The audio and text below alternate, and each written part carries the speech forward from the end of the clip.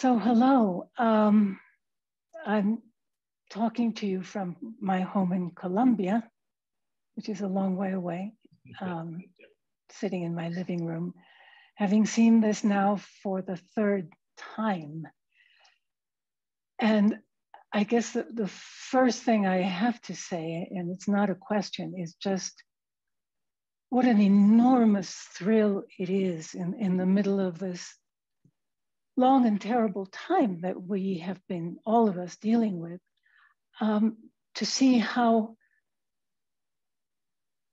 an artist creates the new. Yes, um, this is the new. This is a form of dance that we haven't seen. Um, these are shapes and lights and, and sounds that we haven't seen all put together in this way. It's mysterious, it's startling, um, it's deeply moving. And so I, I just want to say I'm very, very appreciative of the opportunity to see this. Um, and I guess there's so many things to talk about in, in the context of this work. But I would start, I think, by, by addressing both this piece and the one that you stunned us with last year, a much shorter piece, Cooped, mm-hmm. because I think that they may both be fragments of what ends up being an opus, really. Um, and, and so my first question would be, you've spent your artistic life mostly in a black dance company, in the Ailey company. Uh, and you have been living within the world of Black art for all of these many years. But, so it's not like you haven't spoken or danced or choreographed as a Black person. But in these terrible times that we've been through, the Black Lives Matter movement and the death of George Floyd, and I say the death of George Floyd because I'm referring to the mourning involved and not just to the assassination of George Floyd.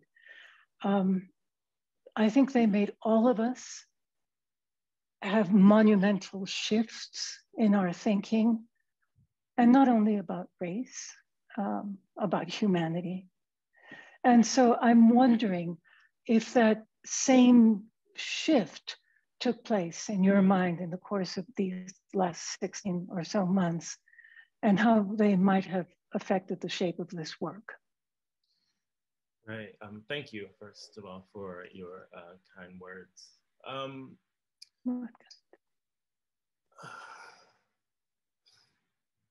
it's a kind of a loaded question. I, to be honest, I um, I'm a very sort of uh, instinctual and uh, sort of maker of things. It's very I mean, once I, I, have an idea, yes, I take that idea and I really, you know, pry into it and, and try to pull apart as many things as I can from it to then create a, a whole work. But in the work that you've seen here and in and in Cooped, a lot of this work that I do alone by myself, that's not with other dancers, it's it's more stream of consciousness to me. So hmm. if if if there was a shift, the shift you know it, it, it's in there but it is it's not something that i that i that's very tangible to me or that is um purposeful i should say when i go into the process of making these works. Um i uh the thing that I, I, I love about making work in solitude is that um, there's so there's so much that I think and that I feel that I don't actually get to say or express to other people. And so once I'm in this work, once it's finished, actually, I'm able to see what it is that I was feeling or what it is that I was thinking, mm-hmm. what it is that I was actually getting at. But that's never there in the inception. It's just me um, choosing a point of view and just moving and just mm-hmm. making and uh, following the current until it is finished. No, that clearly shows, yeah. Um, and I couldn't help thinking that, you know, wherever it was in, in the back of your mind as a spectator, I couldn't help thinking about George Floyd and I couldn't help thinking about the fact that he was a big man. Yeah. Mm-hmm. Um, with very dark skin. And, and somehow there was an embodiment of all sorts of emotions around that. Um, so again, to, to turn back to the historical moment, I, I'm in Colombia where I think the Black Lives Matter movement had enormous strength and power, not just in the United States, but in Mexico, in Colombia, in Brazil, anywhere there's a large Black population. Um, there, there was a real sense, I think, in Black communities of, Jesus, enough of this shit, you know? Um, and, and the sense that it was possible to do something. Um, and so for those of us in Latin America, and I, I know in the United States, that whole event threw us back into a kind of ocean of reflection about, oh, I don't know, death, justice, who we are, why we are. Um, and so again, I know how instinctually you work, but were there questions that you were dealing with even as you were moving? Questions that you were trying to solve by moving? Yeah, um, there were. Um, this piece was sort of made in two parts. Um, I think I started this back in January. I took a huge break, is what I consider a huge break, to go and work on another project. And then I, I revisited again, um, basically like, like a month ago um, yeah, there there there are certain conversations that are that are going on in my head. I think a lot of this work is actually more autobiographical, I would say. Um, uh, when I read Zora Neale Hurston's "How It Feels to Be Colored Me," she she speaks of an experience um, where she first realized that she was colored. You know, going from her all-black community in Eatonville, Florida, and then moving to Jacksonville, Florida, shortly after that, which is a predominantly white city. And when I was making this work, I think I originally wanted to make something that was very sort of close to me in my lived experience. And for some reason, her experience was the first one that I thought of because I think that there, um, there well, I know that there's a similarity there. I moved uh, in 1992 after Hurricane Andrew sort of destroyed Miami. I moved from my all black community in Miami to Jacksonville, Florida, the same as Zora and I was sort of thrusted into uh, an all white school. We moved into upper middle class white suburbia. And that was a really shocking sort of experience for me. One that I was never really able to um, unpack until now. And I think maybe in this work is sort of where I sort of doing that. Um, and you mentioned George Floyd and his size and his colors being like a big uh, dark skinned man. I honestly didn't really feel that I was a big dark skinned man during those times because of my sort of like wanting to to assimilate or to fit into this sort of whiteness that I was surrounded by. So I think that's definitely a conversation that was being had in my mind during the the making of this piece. And then there's also the latter the latter half of it where there are these sort of um, I guess you could say the end of it where I'm sort of in this cocooned kind of shape right there at the very end of the, mm-hmm. of the mm-hmm. film. I was just trying to, that's one moment um, that comes to mind where some, there was a very specific ideal where I was trying to demonstrate or, or show these, these two different dynamics of um, sort of being comfortable being black and being comfortable in the environment of, of extreme whiteness. So there is a, like a comfort there and like a, uh, you know, the, the subject in the film looks a little bit snuggly, but at the same time, that small space that feels very, very uh, constricting, that feels very uh, suppressing. Um, and so those are two examples of conversations that were being had. I think mm-hmm. overall, um, abstraction was definitely something that was very present in my mind from the selection of the music to um, a lot of the movement that you saw in the beginning of the film. I was basically trying to, because um, essentially what I'm dealing with is a, is a feeling. And I think feelings in themselves are a little bit abstract and they're very fleeting. And you know, one thing, one day you're feeling this thing, the next day you're feeling the other. And so I was just trying to sort of capture what it was that I was feeling without being uh, literal. No, not at all. I'm sorry, I'm so hoarse. I'm, I'm Good problem. try to speak more clearly. Um, I, I want to talk a lot about the actual making of the work, mm-hmm. but I was just thinking when I came to New York from Mexico, and it wasn't even a skin color thing because I'm not particularly dark skinned, but mm-hmm. it was just a complete way of being thing. Um, and eventually I found that New York was like the capital of the world. And this was a place where you could fit in and find yourself. Mm-hmm. Um, and also that art made a difference in, in the freedom you had to move and be yourself. Um, and my question now, although it wasn't for a very long time, is that true for Black artists as well? Um, I think so. Absolutely. Absolutely. Yeah. I mean, I think I think it is through it is through the work that I make and through the dances that I've danced. I started dancing professionally at 18 years old, so there's a lot of life that I had to learn from you know that point up until now, and it is yeah. totally 100% due to uh, being steeped in an artistic environment, and like you said, being uh, in the Ailey company in a Black artistic environment. It sort of forced me to really um, see myself um, as myself and also in relationship to the work that I was doing. When you, when you think about the work that Alvin Ailey made, um, me having to go on stage and embody those characters and embody that work, that in turn forces me to question myself and say, okay, where, how do I fit into this? Where, what parts of me can I bring to this work? And so there was a lot of um, learning to do. And then after that, there was a lot of freedom that it gave me.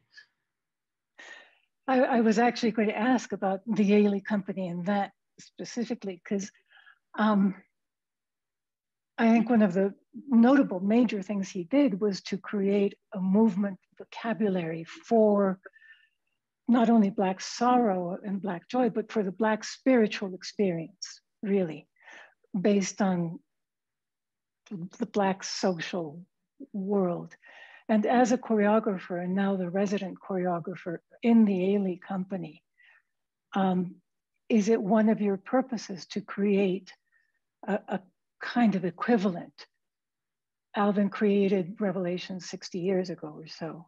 Um, and so are you trying to create a, a new way of movement, or a new embodiment? I am not. I'm not. I think, if anything, um, I'm thinking more of stories. I'm thinking uh-huh. of the the stories that he told and the sort of life that he lived, and I'm trying to bring those stories into now. They are the same. They mm-hmm. uh, they they read differently. They look differently. And i think that um, that's sort of like the beauty of what i what, what i get to do. I like i get to be um, a bit of an, an archaeologist or something where i go back and i see like the old bones of something or the old uh, pattern or the shape or the the construction of something and i can sort of figure out how can i take the most, the essence of that thing, and then bring it here to where we are now and sort of give it a story that is very uh, relevant to where we are. So I'd like to talk about the actual film. First of all, the music. Can you tell us about the music? Um, I can tell you some things about the music. Um, it was created by a, uh, a music duo called Black Spirituals. Black Spirituals is uh, Marshall Trammell on the drums and Zachary James Watkins on guitar and, and electronic stuff.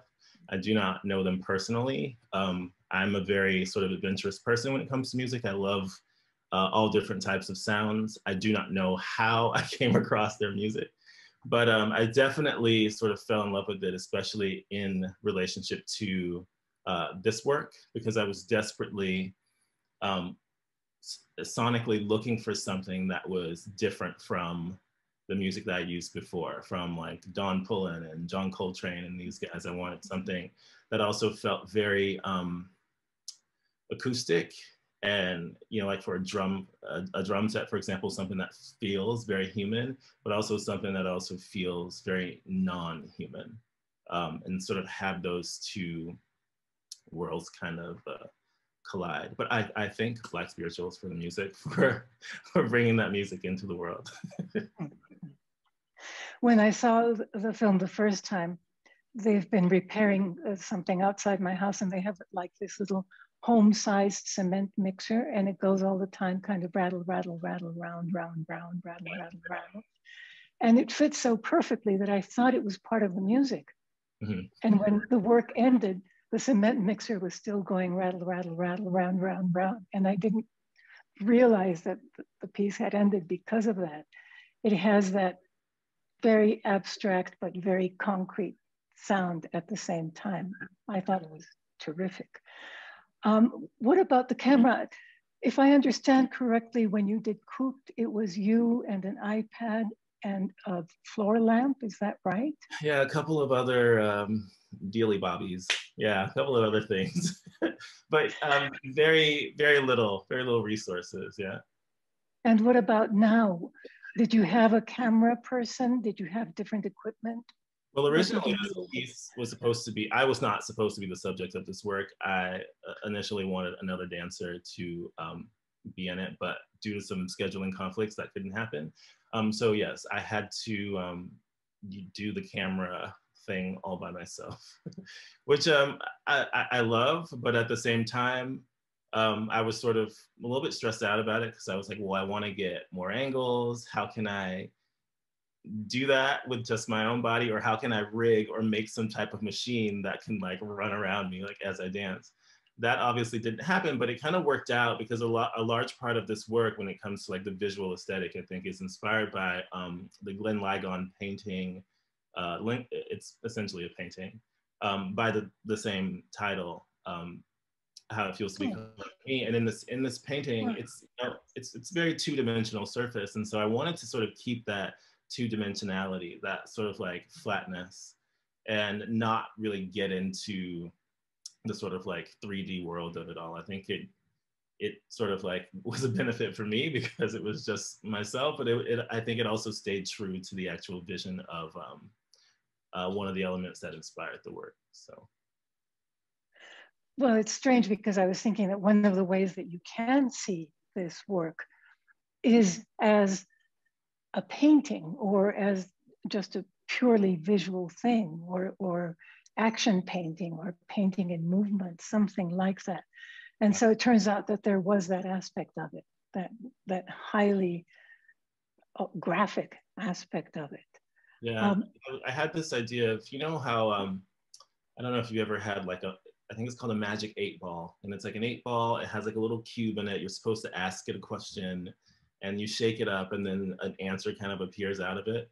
But I was thinking like if, if you could take the text itself, uh-huh. um, how it feels to be colored me, and if that text could magically morph and start to like show you images of how it actually feels. And then that to me kind of like was the idea of how I wanted this work to sort of look like if words, if text could turn into images. Yeah.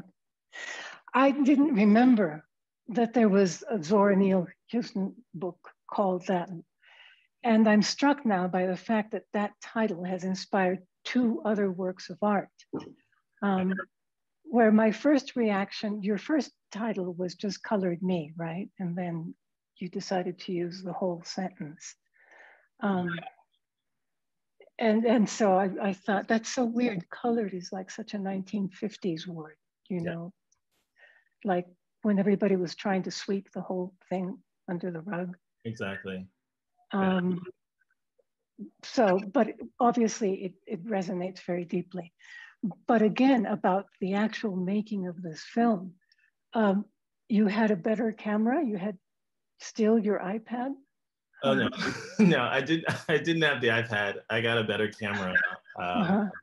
And there's also some iPhone camera footage in there as well. But no, the iPad is has been put to sleep. uh-huh. Very old, old generation iPad. I couldn't figure out how you got those incredible close-ups, you know, that were just so beautiful, like landscapes. Yeah. And I thought, the iPad can do this? My God, I've been wasting my time. Um, and and you edited then? Yes. You did your own editing. I did my own editing, absolutely. Um, this is something else that comes across to me in the work, at least, is this great sense of isolation or, or of loneliness. Yeah. Um, and it's a contrast to the Ailey work where it's all about community and vitality. Mm-hmm. Right. Um, and you sense that as a relief? You sense that how? Well, I think that speaks more to who I am as a person. I think that as as a creative, if I if I had the choice, I would much prefer to you know create alone and in solitude. I feel like that's where I can sort of um, hone my ideas better or like contain everything and control everything a bit more um, mm-hmm. or bigger works, uh, things involving more people, it's sort of like you have to share your vision with so many other people. And the more that it gets away from you, the more that you feel like you feel very uncertain if you're going to get a very good in product, a very good in product because you know no one's gonna care about the work as much as you care about it because they aren't you. Um, so I think that sort of loneliness that you feel in this work is definitely um, that's just me. Not to say that I'm a lonely person, but I think that there's mm-hmm. definitely um, a comfort in sort of being alone with your thoughts and if you're thinking about things as deeply as the the context of this film and and cooped and the other ones it's sort of it's sort of the piece becomes a bit of a, a, a journal or, or or a diary or something like that of like mm-hmm, sort of mm-hmm, your yeah. deepest uh, inner sort of thoughts or dialogue. Well, I'm a writer now, so I, I, certainly understand that. But speaking as a former dancer, as a dancer I once was, I would kill, I would kill to dance in one of your works. And I would care, I swear to God, I would care about it every bit as much as you do. It would be you know, like a life project. Um, and I'm sure you know as a dancer how deeply you invest yourself in. Yeah. Well, it depends. I mean, right? If it, if you're a dancer and you know that you are participating in the creation of the new, mm-hmm. that's my God, an opportunity. I, I, As opposed, I've definitely worked with a couple dancers that that would share your sentiment uh, right now. Um, I'm sure there are a lot more. And I and I, I adore them for that. You know, it really helps to to have that kind of support, especially when you're trying to work as deep as you can. Um, it can be very scary, and it can be, uh, yeah, scary essentially. So to have that kind of support of of a dancer or someone that's willing to like go along with the ride with you is um, is awesome. To take all the risks. Yeah. yeah, it's very different from dancing in something that has already been done and been established. No. Yeah. Can you see right now how you're going to continue working? In is there?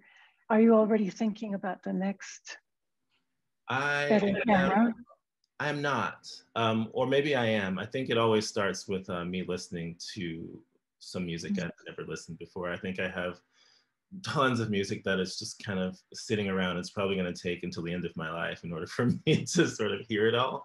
But um, I was thinking today, as I was listening to some of it, that this is how it starts. So to answer your question, yes, maybe I am on to the next thing because I've already mm-hmm. started this sort of um, listening that goes on. And it's not, in the beginning, it's not very, um, uh, intense listening. It's not very active, but it's just me sort of putting on sounds. And I think I'm just trying to figure out, just trying to find a soundtrack to what's going on in here.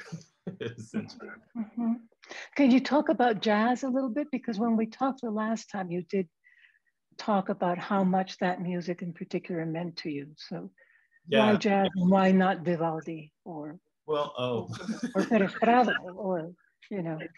Um, I often, actually don't like to talk about uh, my relationship to jazz too much, only because there's a lot of uh, people that are like jazz Britannicas out there. And my, my, I think that my relationship to music in general, it's it's like I said, it's it's very instinctual. Anything, mm-hmm. everything that I know about music, it is from uh, music that I've seen live, um, YouTube clips, books I've read on music, and the rest is just pure instinct and what I consider personal taste. Um, I would say Coltrane over Vivaldi because for me, that feels more authentic, authentic to um, uh, who I am as a person. It feels more uh, more authentic to um, me culturally, um, spiritually. Um, I love the sort of like free jazz, the sort of avant-garde stuff that took place like in the late 60s um, it has this like essence of uh, spirituality in it, and it reminds me of um, the gospel church that I used to go to with my grandma when I was younger. Um, I, I, I, I don't really know so much what the, the draw is. I can't really articulate it for you 100%, but mm-hmm. um, it's definitely there. And I feel like it's a, it's a, a never ending sort of um, exploration for me. I think that music, kind of like dance, it's it's the language is as big as you uh, big as you make it. You know, mm-hmm. the more inventive you can be, the more that you're sort of stretching out more ideas that can be expressed and more things that can be said. And I think when it comes to uh, jazz music, from my understanding, the idea is always to to sort of free it up. Do you know what I mean? To ex- expand. So. Yeah. Just because one ends up in places one didn't mean to go to when you're on YouTube, right? I ended up at the funeral of Allen Toussaint. I don't even know if that's how you pronounce his last name. Yeah, yeah, the new the New Orleans great mm-hmm. figure. So there's his funeral, and there's everybody emerging, I guess, from the church and and the music was so weird and abstract and powerful and painful mm. you know all at the same time and then where it ends up just that transition i thought my god what you're saying it can be as big as you need it to be it can express all of these things in yeah. the most remarkably disparate ways. Um, I can't wait to see what you do next. I, I wish it were done already so that I could be looking at it now. Um, and I think it's time for us to turn over uh, this conversation to the audience. I'm sure there are a ton of questions and answers. And uh, Lauren is very kindly going to act as moderator for this, and I'm going to disappear. And then we're going to come back at the very end and anyone who wants to can watch the film again. So right. what a pleasure. What a great privilege. Thank, thank you. you. Thank you. Thank you. Thank you, Alma. Hi, everyone. I'm Lauren Keel. I'm the executive director of CBA. I am a white woman with uh, shoulder length brown hair, and I'm sitting in front of a white wall. Um, Jamar, the first question has to do with your sense of time and duration. So this says, I'm interested in Jamar's sense of time and duration, by which I mean, how do you feel time in your choreography? In particular, in solos, how do you know how long something should last? How do you know when enough is enough? What impact the duration will have on the viewer? Is this something that matters and causes a lot of thought in your process, or is this more of an instinctual thing? Um, it definitely matters. Um, not a lot of thought is there, but there is there is thought. Um, I, I think it's um, I, well, my relationship to time. I guess when I'm making dances, I'm always trying to get it as close to real time, real life time. So if um, you know, one dancer comes and kisses the other dancer on the cheek, the reaction can't be immediate, or maybe it could be immediate depending on the situation. But I'm always sort of gauging how I'm using time, not in relationship to um, uh, this is a performance, you know, the audience wants to see me react, but like in real actual time, if this really happened to you in real life, what would be your real time reaction to that? Um, and that sort of kind of helps me gauge how long something should extend. And, and and that and also my my own personal taste. I think that i am very critical of the work that i do. So sometimes i don't want to sit and look at one image for for too long. Like i instinctually don't want to see it. And so i try to push it a little bit more to like move on. Or maybe i feel like this is a really nice moment and it's something that i think others will think is nice as well and so i spend a little bit more time but i think it's i think it's just all instinctual and just personal um, feeling and and taste Great. Um, thank you. This next question you actually touched on a bit, but I don't know if you want to say more. The question was, is Glenn Ligon's visual work important to you uh, in, in your practice? So I know you've referenced that, but if there's anything else more broadly, maybe. Um, his work is not important to me in my practice, but I remember um, in the early days when I first moved to New York and I would go to the MoMA. I think he had a work in the MoMA. Maybe it's still there. It's like a, neon light sign of the word America. I'm not really sure, but for right now, that's the, the work that sort of stands out to me. But I think it was his work was like one of the first sort of like works of a black male art maker that I was exposed to where I could like say his name and like uh, match the name to the work when I first when I first moved to New York. So not you know, his work isn't something that I, you know, I'm, I'm following closely in my practice, but it's definitely sort of um, outstanding in my mind. Great. I'm reading these in real time, so forgive me here. Um, this person uh, says they're struck by the layering of different moments in time, with the silhouettes um, accumulating in the film. And was this visual effect uh, tied to an intent uh, to make the body feel strange or abstract? um, were the close crops influenced by surrealist film at all? Um, the close crops were not influenced by surrealist films, but the the layering of the layering of the bodies, the sort of dual sort of uh, uh, bodies that you see in some shots, and also this I don't know what you call it, like a, a after effect that you kind of see.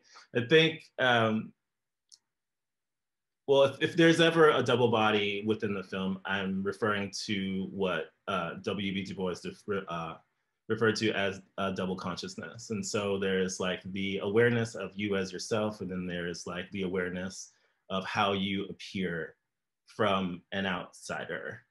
That outsider in the context of this being like the white gaze. And so there is a definite sort of intentional um, duality that I'm trying to express here in a lot of the painterly sort of what do you call that uh, trails that that kind of appear within the film. That's just me going uh, referencing back to the glenn ligon uh, painting. And like at the top of the painting it's very clear and very legible. It says how it feel how it feels to be colored me. And as you sort of scroll down the painting the words become less and less legible. So i was just basically trying to kind of embody that within this um, within this film. Great, thank you. Um, so this one says, I'm interested in learning uh, more about your relationship to music. Um, and how do you feel your choreography interacts with the music? And does the music guide or lead the emotions, narrative, and structure of the mu- movements that you explore? Um, do you feel that you search for the music that fits the movement or the narrative ideas? just in general or in this work in particular? That's a lot. Uh, um, I think it's, uh, I want to say it's, it's sort of feelings and narrative and context first, and then I try to find music that sort of matches matches that. So there's a, an extensive amount of like listening and listening until I find something that sort of um, marries what it is that I'm trying to say. Um, and that that could that could be any it could be any any any music. I think it's it's really the story that I have inside. If it's something that feels very personal, then maybe I'll look for music that's a bit more sparse or that's a bit more um, that can kind of fill up the space. You know, if it's just a solo, or if it's just my body, or if it's something that I'm feeling that involves uh, lots of people. It, it, it, really just depends on the on the story that I'm trying to tell. That sort of depends on what genre I go in, what sort of energy I'm looking for. But it's a really it's a hard thing to kind of describe to describe. Sorry, person. Fine. I think any uh, any way you you look at it is uh, insightful for us. Um, a couple more here, and I'm just keeping my eye on the time. Um, this question is Does the camera's gaze have a color, a persona? Is it a mirror? Ooh. Wow.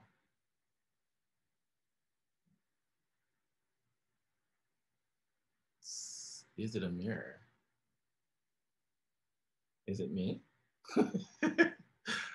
um, that's that's a really good question. I'm to write that one down. I'm to think about it. Um, I do not have an answer for that, but it's very, very good.